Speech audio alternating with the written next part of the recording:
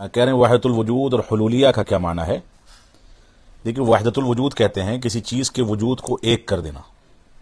ये सूफिया का अकीदा है कि अल्लाह रब्बुल हर चीज़ के अंदर मौजूद है। यानी दुनिया के अंदर जो भी चीज़ है, वो सब अल्लाह है। ला वजूद इल्लल्लाह। तो वहदतुल वजूद जो है, इसका माना यह है कि दुनिया के अंदर जो कुछ भी पाया जाता है, सब कुछ, सब का सब अल्लाह है। और इसी नज़रिए के तहत सूफिया का अकीदा है कि अल्लाह रब्लमीन हर जगह अपने वजूद के साथ मौजूद है, हर चीज़ के अंदर मौजूद है। यहाँ तक कि जानवरों में, बल्कि बाज़ गाली किस्म के सूफी कहते हैं कि गंदे, जो नापाक जानवर हैं, उनके अंदर भी अल्लाह रब्लमीन मौजूद है।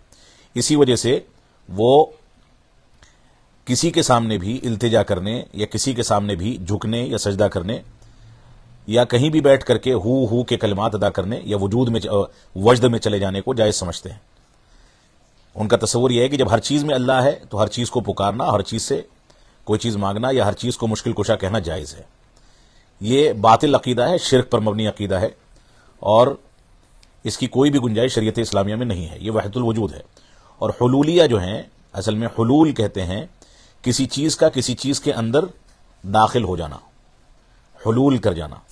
इनका यह एतकाद भी इसी से माखूज है।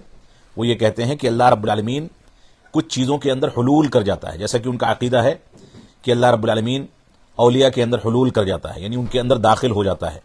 तो गोया वो अलिया अल्लाह के हुक्म में होते हैं। ये हलूल कर जाने का अकीदा भी, बातिल अकीदा है, शिरक पर मबनी है। इसकी शरीय इस्लामिया में कोई गुंजाइश मौजूद नहीं है।